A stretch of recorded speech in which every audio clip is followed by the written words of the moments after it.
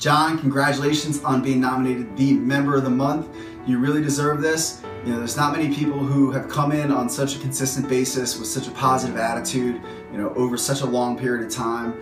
Um, you're one of the most consistent members at the 12 o'clock class. Um, everybody loves you at the noon. Um, you're one of the nicest members we have, and no matter what, uh, I know you have a lot of issues with your knees, but that doesn't stop you. You're always in here pushing 110% every single day.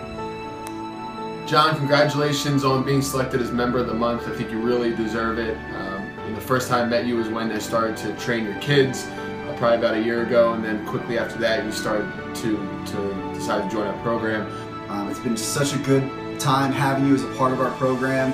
You know, having your kids as a part, having you as a part. You know, you've seen amazing results, and that's a you know reflection of all the hard work that you put in, the changes that you've made. It's been a wonderful having you. You're one of, definitely one of the nicest guys uh, in the gym, nicest members, and it's always a pleasure to get to work with you, especially um, you know talking sports and all that stuff. Um, it's one of the most genuinely nice people you ever want to meet, and he used to come in 6:30 class, and we loved him.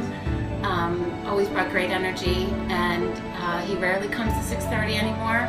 He goes to a different time, but um, he's not bitter.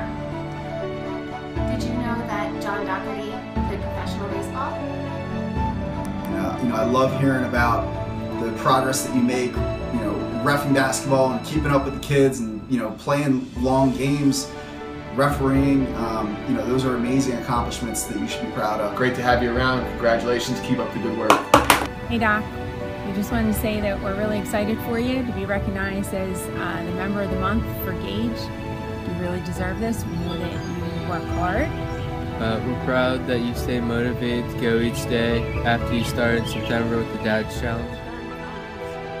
So, John, congratulations on being Member of the Month.